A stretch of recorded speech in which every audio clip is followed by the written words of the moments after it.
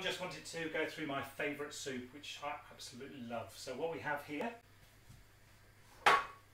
onions, beautiful, a couple of leeks, and some spring onions.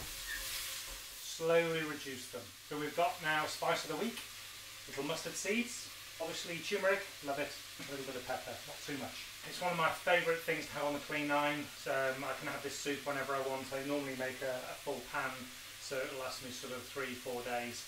And either have it for a starter on day three or just maybe for a snack on um, on day one or two during the day. Absolutely gorgeous. Bit of celery, rainbow of peppers, a little bit of garlic. So I'm just going to reduce those and then put some of my favourite stock in. Now you can use any stock, I use chicken stock, but you can use absolutely anything. Some sweet corn, frozen, some peas, frozen, a little bit of kale, and I've got some rocket, some coriander, but I'm going to leave those till a bit later on. And of course my old favourite little mini tree bushes. So just the florets of those, but that's for me. Let me show you what I do. So just take the top off and literally just peel this. And what you're left with is a beautiful core. Delicious. Okay, so the soup's done. Uh, five minutes later, just to give it a little bit of bubbling. I've transferred it to here, and as you can see, we're just going to make a little bit of soup.